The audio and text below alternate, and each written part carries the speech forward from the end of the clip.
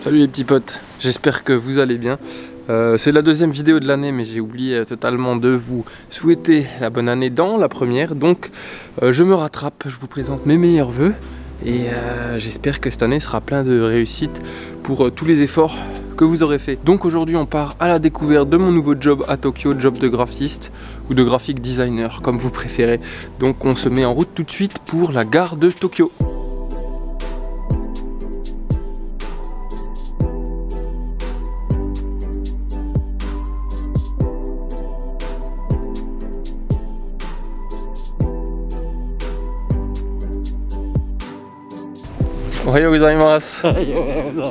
Euh, donc ça je vous présente, c'est un monsieur qui est génial, c'est mon ami, c'est celui qui s'occupe du parking du vélo, il est là tous les matins, super souriant. Et puis euh, c'est toujours un bon moyen de commencer la journée. Alors pour arriver à la gare de Tokyo, on prend la ligne Chuo qui est accessoirement la plus blindée de Tokyo. Donc je vous emmène voir ça, c'est assez drôle. Euh, bon, je m'en plains un peu, mais j'avoue que parfois, quand il fait froid, j'aime bien me retrouver proche des gens, le matin eh bien pour euh, profiter un peu de la chaleur humaine.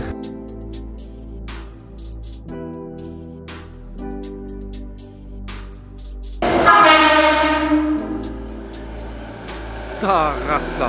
Je laisse, euh, je prends le prochain train. Comme ça, je vous montre un peu à quoi ça ressemble parce que je pense pas que ça sera possible de filmer à l'intérieur. Vous allez voir, c'est assez marrant.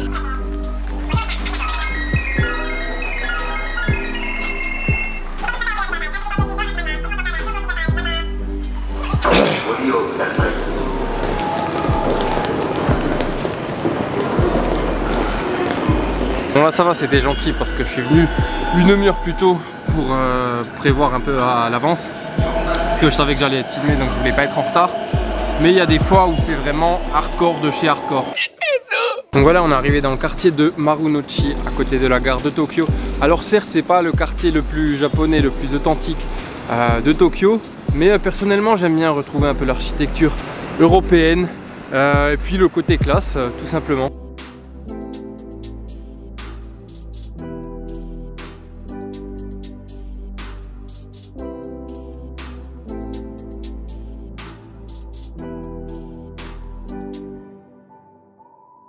Voilà donc là je me dirige vers le bureau. Euh, Malheureusement j'ai pas le droit de filmer à l'intérieur Mais je vous mets quand même une, petite photo parce que la vue est super impressionnante.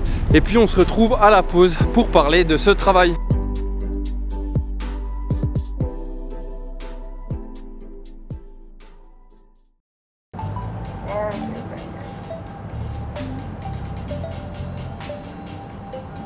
Bon voilà, on est posé pour la petite pause de midi euh, aux abords du parc impérial. On vous le voyez pas ici, mais euh, euh, c'est la super vue à laquelle j'ai droit tous les jours au bureau. Donc ça, c'est plutôt cool. On est posé, regardez, dans l'herbe jaune, sèche. Je sais pas pourquoi elle est sèche en hiver au Japon. S'il y en a qui le savent, dites-le moi en commentaire. Merci bien. Alors, ce travail déjà, il faut savoir que c'est un job euh, de graphiste, mais dans l'industrie euh, de l'immobilier. Donc, ça peut être un peu euh, différent de ce qu'on peut voir ailleurs. Mais je pense qu'il y a quand même pas mal de choses qui peuvent être valables dans le domaine du graphisme et du design en général. Alors le travail, il consiste en quoi? Il consiste en la production de matériel, de support marketing et communication surtout visuel pour des, bâtiments sont à vendre euh, à Tokyo et dans les autres villes du Japon. Donc on va faire euh, avant tout des, comment on dit ça en français, des brochures, voilà, plus ou moins épaisses, hein, euh, ça peut aller jusqu'à 150 pages. Et on va faire également des présentations PowerPoint pour les vendeurs, pour que eux, au moment de la, proposition de la vente, aient le, meilleur support possible pour permettre eh bien, de réaliser la vente tout simplement. Avec ça, on va souvent faire un site web euh, dédié au bâtiment. On peut faire de la vidéo, on peut faire euh, plusieurs choses. On fait souvent aussi nos propres euh, photos. C'est ce qui apporte une vraie touche personnelle à l'entreprise. Et chaque projet est différent, donc les supports varient beaucoup. Ça dépend notamment de la taille du projet et de l'importance du client.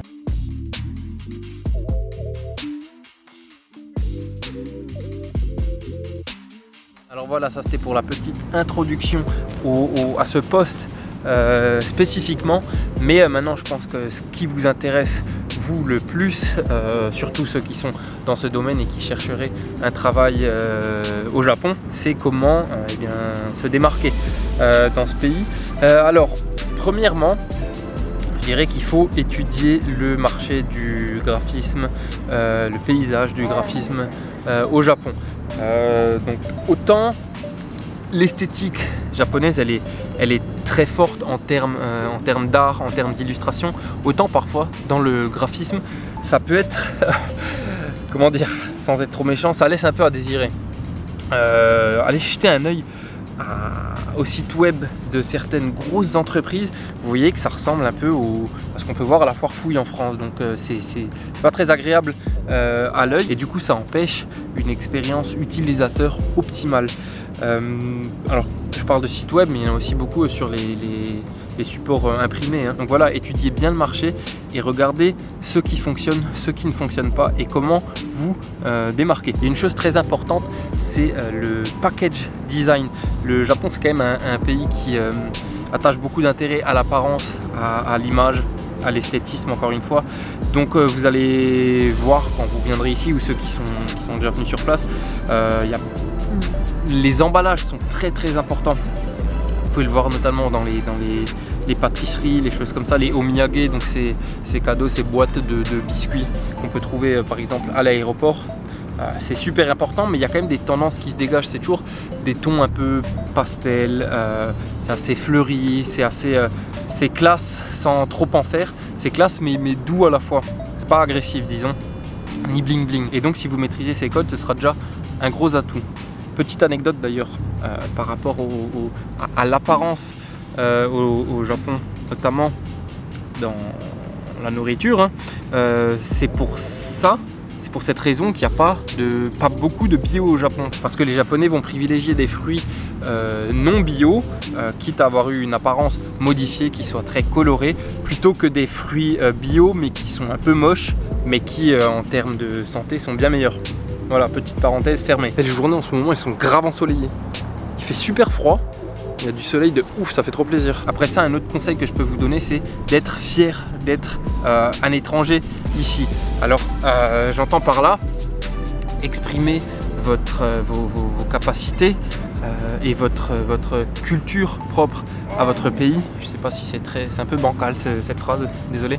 à travers les, supports de communication que vous produirez. Voilà, ne, vous, suivez pas euh, tous les codes japonais à la lettre. C'est justement ça qui va faire votre force. Il faut vraiment se démarquer tout en étant conscient de, bah, ce que je vous ai expliqué tout à l'heure pour avoir justement ces deux, euh, ces deux atouts dans votre poche.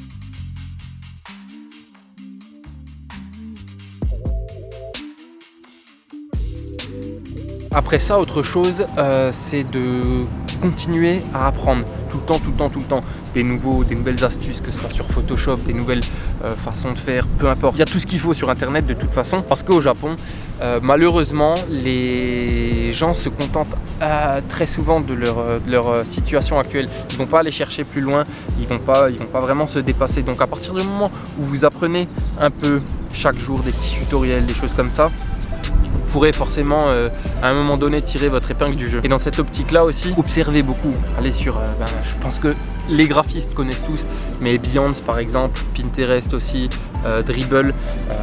Inspirez-vous en fait de ce qui se fait et au Japon et dans les autres pays, surtout aux États-Unis, où ils sont quand même, où ils sont quand même très bons dans le domaine quand on regarde leurs leur grosses entreprises comme Google. Après, n'hésitez pas à utiliser des mock-ups. Alors ça, c'est valable pour le, graphisme en général, un peu importe le pays, mais euh, c'est quand même c'est quelque chose que les gens oublient un peu souvent. Ceux qui savent pas ce que c'est un mock-up, c'est en fait euh, une image, euh, c'est souvent un fichier Photoshop sur lequel on va insérer notre création. Par exemple, un logo, on va l'insérer sur eh bien, un t-shirt. Et en fait, le mock-up, lui, il s'occupe de, travailler l'image pour qu'elle soit intégrée de façon réaliste.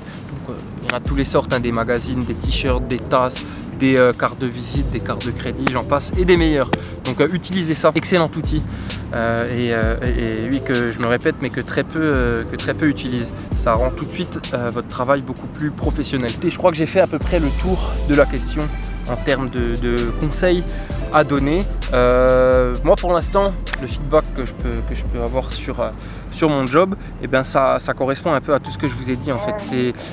Il faut jongler en fait entre les clients qui sont euh, très souvent japonais mais parfois internationaux. Alors il faut être au courant des pratiques et puis euh, aussi des, tabous, hein, parce qu'il y, a quand même des, tabous, dans, surtout au Japon dans cette société assez codifiée pour ne pas faire d'erreurs de communication. Un exemple concret, quand on dans un fichier texte par exemple, quand vous alignez le texte à droite, vous savez par exemple vous avez une image, vous alignez le texte à droite pour que ce soit stylé, si c'est des caractères euh, anglais, enfin si c'est des caractères romains je veux dire du texte en anglais par exemple, les japonais auront beaucoup de mal à le lire. Donc il y, a toutes ces petites choses là euh, qu'on apprend euh, au fur et à mesure. Et après, il y a aussi un autre problème, c'est lié à la police d'écriture.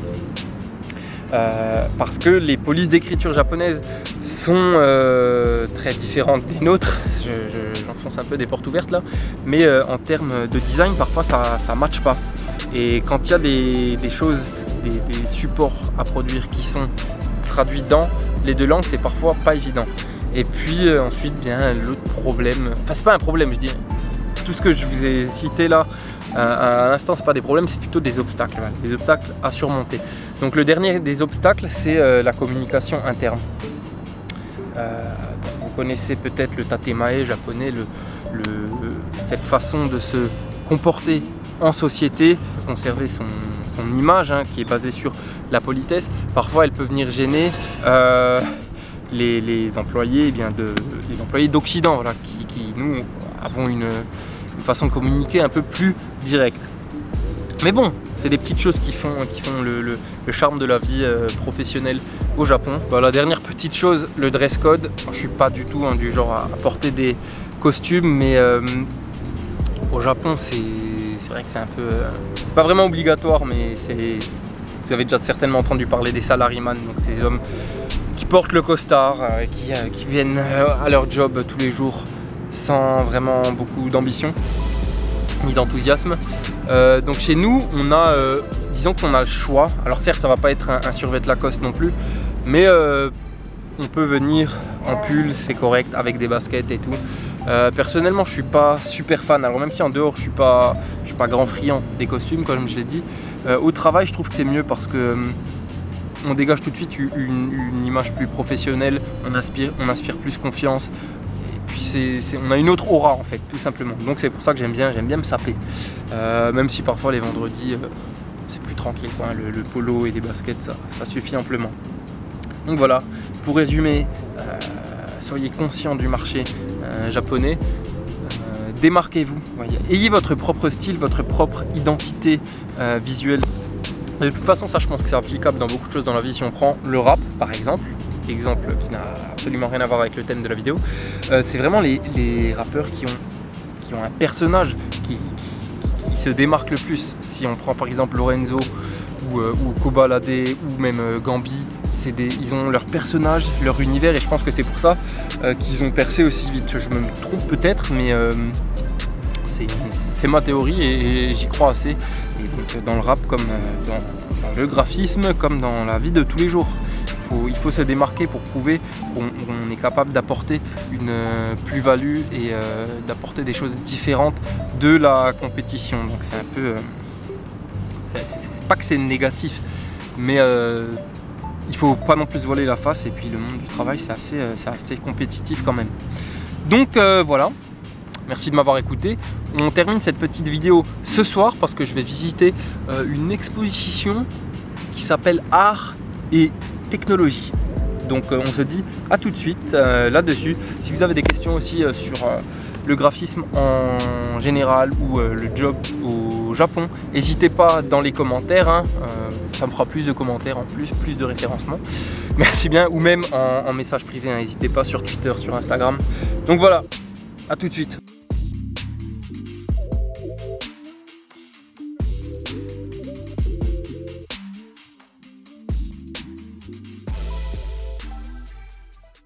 Changement de plan, en fait, euh, le musée est fermé le mardi à cette heure-là, donc on n'a pas le choix. Et je suis avec Manami. Hi. Konbanwa. こんばんは Je pense pas que vous l'ayez déjà vu euh, sur la chaîne, mais c'est une amie euh, de longue date. I tsu 僕たちはあの会った3 3年年前くらいマニエルのバースデーパーティーでそうですねそうですね Ouais, ça fait 3 ans donc euh, qu'on se connaît, donc euh, une super copine. Et du coup, on en profite euh, pour euh, se rattraper puisqu'on est allé dans le même bâtiment. On a dit Biru, e, euh, Skyview. Dans le même bâtiment pour bah, profiter de l'observatoire de la tour de Roppongi, donc la tour Mori. Donc c'est un peu cher, mais ça vaut vraiment le détour. C'est 15 euros l'entrée, mais ça vaut vraiment le détour. Donc voilà, on, vous fait, on vous montre ça tout de suite.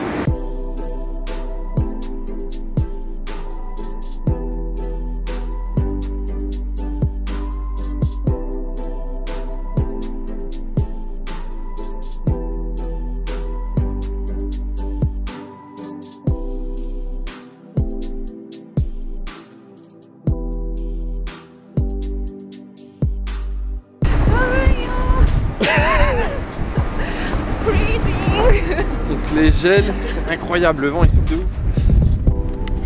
Bref, nous on va les déguster là.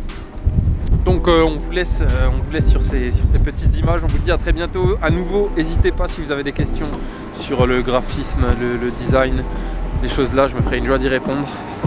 Et puis on se dit à très bientôt pour une, nouvelle vidéo. Euh, je sais pas encore quoi, on verra. hein. On verra selon mon humeur. Bye bye, arigato gozaimasu petit test image avec euh, le Newer LED Ring. Voir ce que ça donne. C'est très lumineux. Hein On baisse. Oh, fils de... Putain, mes yeux.